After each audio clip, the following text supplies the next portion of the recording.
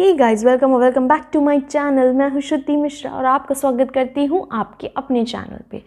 जैसे कि guys sheet mask जो कि ट्रेंड में है, लेकिन ऑयली स्किन वाले जब भी शीट मास्क यूज़ करते हैं तो उनको पिंपल और गिफ्ट में मिल जाते हैं। और वैसे भी मैंने देखा ऑयली स्किन केयर वाले जो होते हैं, बहुत चाहते हैं कि वो शीट मास्क यूज़ करें। सो मैंने सोचा कि चलिए आज एक ऐसा शीट मास्क शेयर कर देते हैं, जो ऑयली एक्नेप्रोन स्किन के लिए बनाया गया है।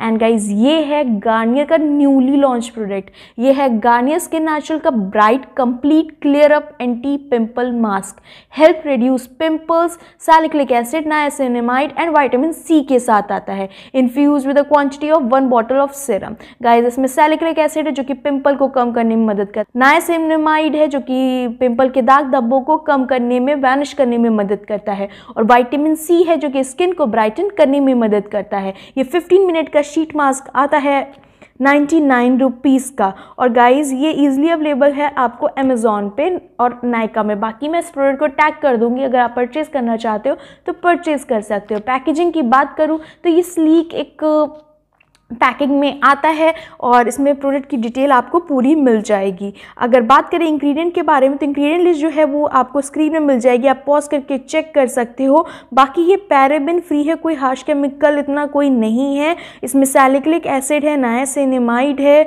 और इसमें एमोनियम पॉलीक्राइबोमिथाइल है टोरेट एस्कॉर्बिल ग्लूकोसाइड है।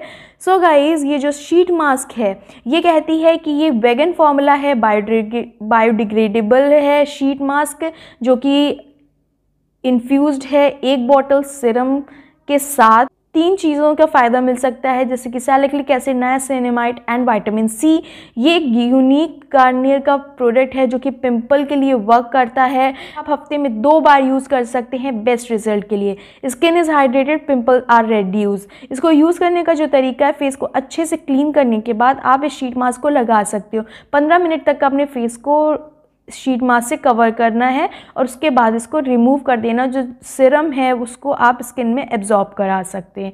सो so गाइज़ ये था इसको यूज़ करने का तरीका। मैं बात करूँ अगर इसके रिज़ल्ट के बारे में। गाइज़ इस शीट मास्क को मैंने यूज़ किया है। जैसे यूजली जो मैं शीट मास्क यूज़ कर लेती हूँ तो मुझे पिंपल एक्ने आ जाते हैं। लेकिन इसने मेरी स्किन को हाइड्रेट किया, लेकिन उसके बावजूद मेरी स्किन में पिंपल एक्ने नहीं आए।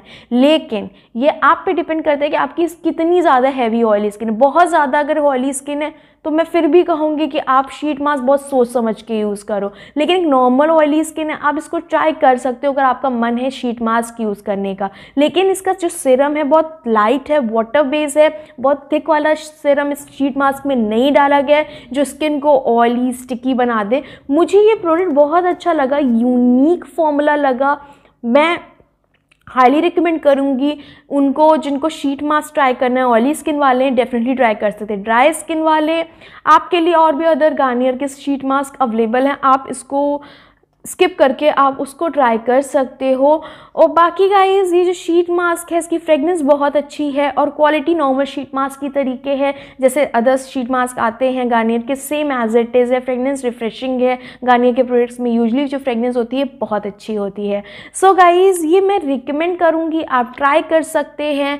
और बाकी एकदम से आप कहें कि इसमें पिम्पल एक्ने पर क्या वर्क करता है? तो अगर पिम्पल एक्ने आपके हैं तो ये उतना कोई वैनिश करने में मदद नहीं करेगा। एकदम से कोई इंस्टेंट रिज़ल्ट नहीं देगा और शीट मास्क से पिंपल एक्ने ठीक करने की आप कोशिश भी ना करें, क्योंकि हफ़्ते में दो बार इसको यूज़ करना है और उसके लिए आपको दो सौ रुपये खर्च करने पड़ेंगे हर हफ़्ते। इससे अच्छा आप कोई एस्ट्रीजेंट यूज़ करना शुरू कर दें तो अगर आपकी स्किन की ऊपरी प्रॉब्लम की वजह से एक्ने हो रहे हैं, वो कंट्रोल हो जाएँगे और एस्ट्रीजेंट बहुत अच्छे से वर्क करता है आपके पिंपल एक्ने पे।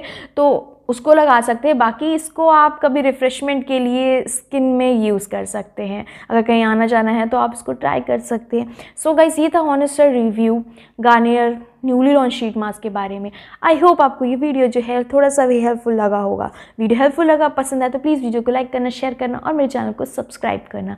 सो गाइस चलिए मिलते हैं नए वीडियो में किसी नए प्रोडक्ट के साथ। तब तक रखें, आप अपना, अपने परिवार का ख्याल चेक कर बाय